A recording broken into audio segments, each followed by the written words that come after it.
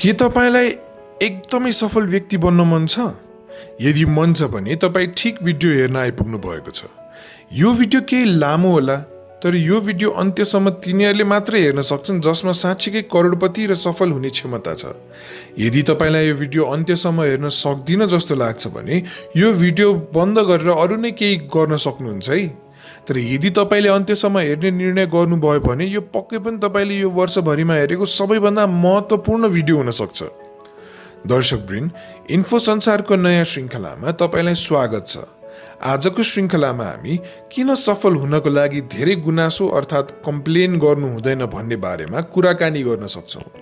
तर यो भिडियो सुरु हुनुभन्दा अगाडि हाम्रो च्यानल इन्फो संसारलाई सब्सक्राइब गरेर छेउको घन्टी थिच्न नभुल्नुहोला है। यसो गरे तपाईँले हाम्रो सबै भिडियोहरू सबैले भन्दा पहिला हेर्न पाउनुहुनेछ। सफल व्यक्तिमा नभई नहुने एउटा गुण के हो भने उनीहरू कहिले पनि गुनासो गरेर आफ्नो समय खेर फाल्दैनन्। उनीहरू यो भएन र त्यो भएन भनेर बस्दै बस्दैनन्।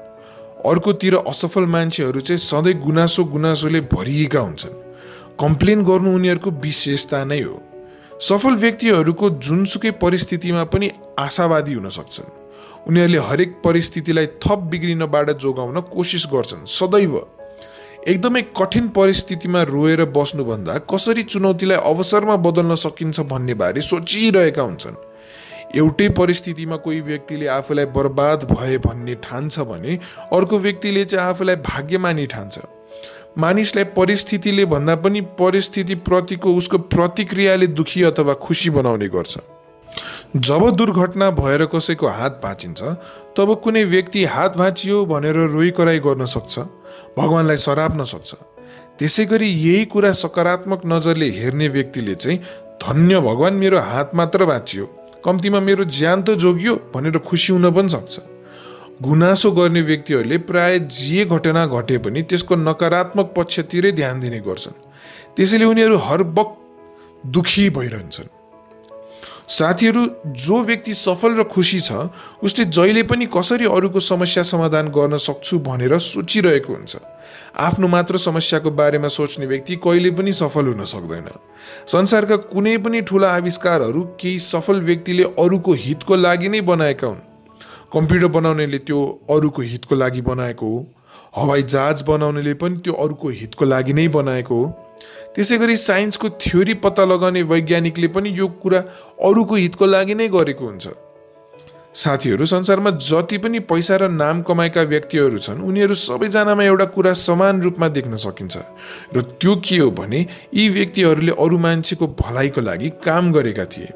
उनीहरूले अरू मानिसको जीवनलाई सहज र सजिलो बनाउनको लागि दिनरात मेहनत गरे।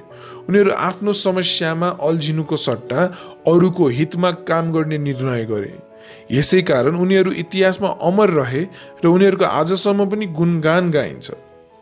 जो व्यक्ति जतिखेर पनि आफ्नो फाइदा हेरिरहेको हुन्छ उसलाई चाहिँ झन बिहान बेलुकाको दुई छाक टार्न पनि एकदम गाह्रो भइरहेको हुन्छ जसले अरूको फाइदाको लागि र अरूको जीवनमा सुधार ल्याउनको लागि मेहनत गर्छ उसले कहिले पनि आफ्नो पेट पाल्नको लागि चिन्ता गर्नै पर्दैन।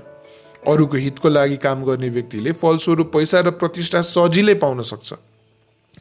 साथीहरू तपाईँले जुन समस्याको बारेमा गुनासो गरिरहनु भएको छ त्यही समस्यालाई समाधान गरेर कैयौँ मानिसहरू सफल भएका छन्। त्यसैले यदि तपाईँको जीवनमा कुनै समस्या छ भने त्यसको बारेमा गुनासो गरेर नबस्नुहोस्। किनकि त्यसो गर्नाले यसै पनि तपाईँको परिस्थितिमा केही पनि परिवर्तन आउँदैन। यसको सट्टा तपाईँले हरेक समस्यालाई कसरी समाधान गर्न सकिन्छ भन्ने बारेमा चाहिँ सोच्नुपर्ने हुन्छ। सधैँ आफ्नो समस्याको बारेमा सोचेर बस्नुको सट्टा तपाईँले अरू व्यक्तिहरूलाई के समस्या भइरहेको छ होला भन्ने कुराबारे सोच्नुपर्ने हुन्छ। यदि तपाईँले अरू व्यक्तिको समस्या समाधान गर्ने बारे सोच्न थाल्नुभयो भने बिस्तारै तपाईँलाई आफ्नो समस्या एकदमै सानो लाग्न थाल्छ। मसँग पैसा छैन मसँग शिक्षा छैन मसँग सिप छैन मसँग क्षमता छैन यी सबै गुनासोहरूको एउटै उत्तर छ र त्यो तपाईँसँग इच्छा शक्ति छैन। तपाईँको इच्छा शक्ति यी समस्याभन्दा सानो भएकोले नै तपाईँलाई यी समस्याहरू ठुला लागिरहेको छन्।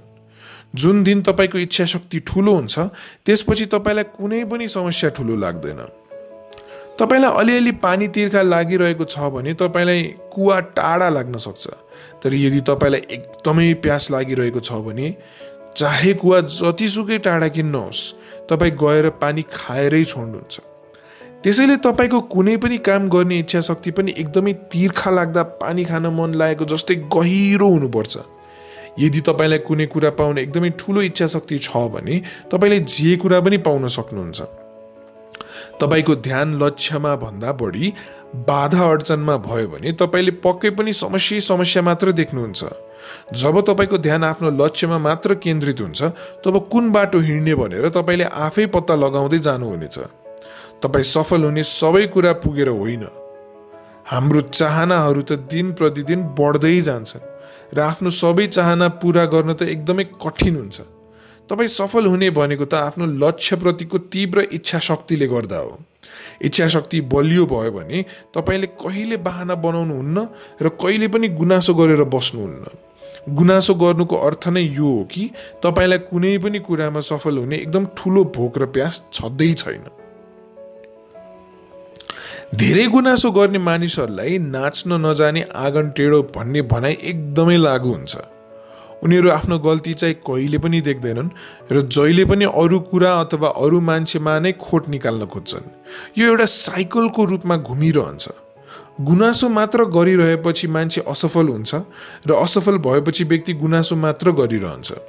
यो चक्रबाट निस्किनको लागि हामीले आफ्नो बानी सुधार्नुपर्छ। जसरी हामी व्रत बसेको बेलामा खाना खाँदैनौँ त्यसैले हामी यस्तो व्रत बस्नुपर्छ जहाँ हामी एक दिनभरि केही पनि गुनासो गर्दैनौँ। अबको एक हप्तालाई म केही पनि कुराको बारेमा गुनासो अर्थात् कम्प्लेन गर्दै गर्दिनँ भनेर सोच्नुहोस् कुनै पनि समस्याको पक्कै पनि समाधान पनि हुन्छ। त्यसैले यदि हाम्रो अगाडि कुनै पनि समस्या छ भने हामीले सधैँ त्यसको बारेमा गुनासो गर्नुको सट्टा त्यसको समाधान गर्नतिर लाग्नुपर्छ। जीवन भनेकै समस्याले भरिएको हुन्छ। तपाईँको आज एउटा समस्या होला। यो समस्या समाधान गरेपछि त सबै कुरा ठिक हुन्छ भने जस्तो तपाईँलाई लाग्न सक्छ तर यो गलत धारणा हो। किनकि तपाईँको जीवन सबै कुरा मिलेको त कहिले पनि हुँदैन। नयाँ नयाँ समस्याको तपाईँले सामना गरिरहनुपर्छ। तर यसो सोच्दा जीवनको मजा पनि चुनौतीहरूको सामना गर्नुमै नै छ। यदि तपाईँको जीवनमा केही पनि चुनौती नै नभएको भए तपाईँको जीवन एकदमै बोरिङ अर्थात् झ्याउ लाग्दो हुने थियो। त्यसैले जीवन जिउने कला भनेकै आफ्नो सबै समस्यासँग हाँसी हाँसी जोड्नमा आधारित हुन्छ। कुनै पनि परिस्थितिको बारेमा गुनासो गर्दा अथवा रिसाउँदा हामीलाई नै घाटा हुने गर्छ है। गुनासो गर्नु वा रिसाउनुले तपाईँको परिस्थिति पटक्कै बदलिँदैन। तपाईँको निर्णयले मात्र तपाईँको परिस्थिति बदलिन सक्छ। त्यसैले परिस्थिति आफ्नो इच्छा अनुसारको भएन भनेर रुनुको सट्टा हामीले परिस्थिति अनुसार आफूलाई योग्य बनाउँदै जानुपर्छ। त्यसैले तपाईँ अबदेखि अरू मान्छे अथवा आफ्नो परिस्थितिलाई दोष दिन छोड्नुहोस्। जीवनमा सबै कुरा पक्कै पनि तपाईँले खोजेको जस्तो त हुँदैन तर तपाईँले मेरो जीवनमा जे पनि हुन्छ त्यो सबै मेरो आफ्नै कारणले हुन्छ भन्ने कुरा याद गर्नुपर्ने हुन्छ। जीवनको सबै जिम्मेवारी हामीले आफ्नै काँधमा लिन सक्षम हुनुपर्छ। आफ्नो जिन्दगी आफ्नै कर्मको परिणाम हो भनेर जब हामीले बुझ्छौँ र स्वीकार गर्न थाल्छौँ तब बल्ल जिन्दगीमा सुधारको लक्षण देखिन थाल्छ। साथीहरू यो धरतीमा बाँच्नु भनेको एउटा युद्ध जस्तै हो। एक तरिकाले भनियो भने बाँच्नुको अर्को नाम नै युद्ध हो। जबसम्म हामी बाँचिरहेका हुन्छौँ तबसम्म हामी हर बखत लडिरहेका हुन्छौँ। कहिले हामी आर्थिक समस्यासँग लडिरहेका हुन्छौँ त कहिले चाहिँ हामीले आफ्नो सम्बन्धहरूमा आउने झगडासँग जु जुधिरहेका हुन्छौँ। कहिले हामी रोगसँग लडिरहेका हुन्छौँ त कहिले हामी आफ्नो लक्ष्य प्राप्त गर्नको लागि लडि नै रहेका हुन्छौँ। याद गर्नुहोस् कि सङ्घर्ष नगरी जीवनमा केही पनि पाउन सकिँदैन। त्यसैले परिस्थिति आफ्नो अनुकूल भएन भनेर रोएर नबस्नुहोस्। यो संसारमा कसैले पनि तपाईँलाई दया गरेर तपाईँले खोजेको कुरा तपाईँको अगाडि टक्कर्याएर राखिदिनेवाला चाहिँ छैन। यहाँ त तपाईँले गुनासो गरेर आफूलाई कमजोर बनाउनुको सट्टा आफूलाई बलियो बनाउनु पर्छ र आफ्नो सपनाको मार्गमा एकपछि अर्को पाइला चाल्दै हिँड्नुपर्छ। परीक्षा गाह्रो हुन्छ किनकि तपाईँको तयारी राम्रो हुँदैन। बजारमा महँगी हुन्छ किनकि तपाईँको आम्दानी राम्रो हुँदैन। यो संसारमा केही पनि कुरा सजिलै पाइँदैन। भगवान्ले पनि उसलाई मद्दत गर्छ जसले एकदमै धेरै मेहनत गर्छ। तपाईँको जीवन तपाईँको अनुकूल अनुसार चल्दैन। जीवन भनेकै एकपछि अर्को प्रतिकूल परिस्थिति आउने एउटा खेल हो। यो खेलमा जित्नको लागि तपाईँले आफूले आफूलाई मजबुत बनाउनु पर्छ र जस्तो कठिन परिस्थितिलाई पनि अवसर बनाउन जान्नुपर्छ। ज्ञानका हिसाबले धनका हिसाबले स्वास्थ्यका हिसाबले र प्रसिद्धिका हिसाबले आफूलाई हर बखत मजबुत बनाउनुहोस् र तपाईँको जिन्दगी आफै तपाईँले खोजेको जस्तो हुँदै जान्छ। तपाईँले आफ्नो जीवनलाई राम्रो बनाउनको लागि के गर्नुपर्नेछ? हामीलाई तल कमेन्टमा बताउन नबिर्सिनु होला है। त्यसै गरी तपाईँलाई यो भिडियो मन पर्यो भने यसलाई लाइक गरेर च्यानल सब्सक्राइब गरी छेउको घन्टी थिच्न पनि नभुल्नुहोला। यसो गरी तपाईँले हाम्रो सबै भिडियो सबैभन्दा पहिला हेर्न पाउनुहुनेछ। हामी यस्तै नै रमाइलो अनि सन्देशमूलक भिडियोहरू लिएर फेरि पनि आउने नै छौँ। त्यति बेलासम्म प्रतीक्षा गर्नुहोला। नमस्कार।